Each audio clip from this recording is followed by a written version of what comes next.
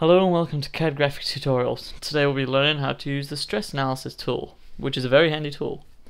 Okay, to start off, you'll need to have a complete part or assembly. In this case, I've used a wooden table. Okay, with your complete part or assembly, you will need to identify the material of it. In this case, I've used wood, oak, as is the wooden table. Okay, before we start, you have the chance in changing the view to orthographic or perspective.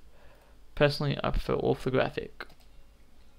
Okay, head to environments, and then you should see a stress analysis, which is like multicolored one.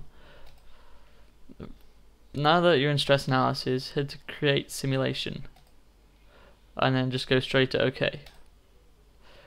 Right, to put a force or pressure on table, first you'll need to constrain the bottoms of the the ends here.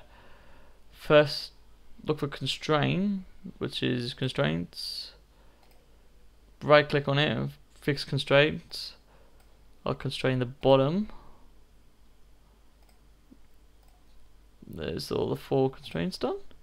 And press OK. Right, now that they've been constrained, you can now put a force on. Head to force, just click wherever you want the force to act down on. I would want it on the top of the table. There you go. You can now type in how much Newton force you want, which Newtons is the uh, what force is measuring. So 100 Newtons I'll do. And okay. Right. Now, we just hit the simulate button and then run simulation. Just wait for it to load. Yeah, you can tell where the break's going to go. The safety factor, your displacement here, as you can see here, is 0.02 mils out of displacement. It's going to be when 100, 100 newtons of force is going to be applied. Also, you can take a look at the stress on each angle. Displacement again, just more accurate. And then strains.